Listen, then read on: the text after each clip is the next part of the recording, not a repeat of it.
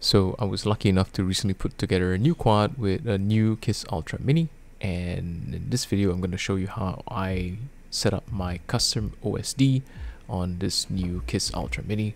Now you're going to plug it in. Things first, what you need to do is you need to connect to your Ultra. I'm using the desktop app. Uh, you could use the web browser if you wanted to, but I like using the desktop app. So connect. First step, you need to go to your advanced tab um, scroll down to your DJI Shark Byte OSD.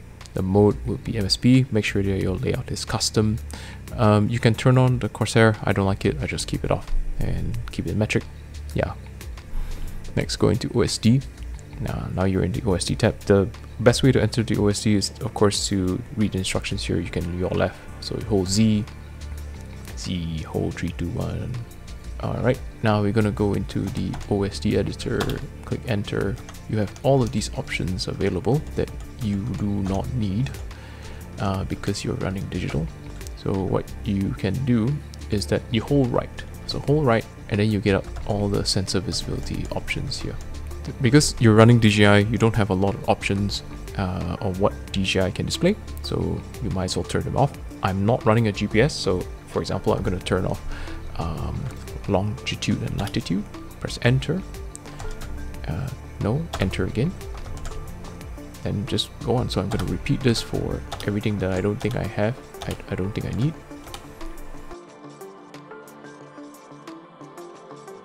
So this is actually what most people have been asking me. How do I get the average cell voltage uh, to be displayed into the uh, the OSD? And what you want is this one, cell voltage. By default, this is turned off. So click enter, switch it to yes, and then click enter again. Cell voltage is important because if you fly multiple quads, uh, 6S, 4S, 5S, you don't know, you don't remember offhand and what, what voltage you need to return.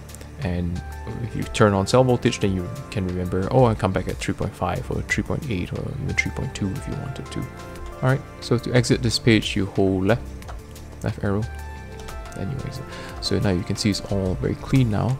Uh, the issue here is that it's all over the place and you can, to place it wherever you want, you can hover or navigate over these, uh, these items. You press enter and then, then you get to move this. Right? So I'm going to move them to where I like them, but you can of course move them to wherever you want to move them. Uh, this one takes a while because it takes multiple key presses and they don't travel very fast so I'll speed up this part of the video.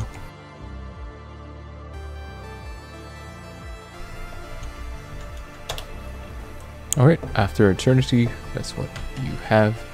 Next, you're gonna hold left. And you'll get this uh, custom OSD changes. You want to save it. Press enter save. And there you have it that you're done. Now you have uh, your OSD as customized as you want it to be, as you can see here.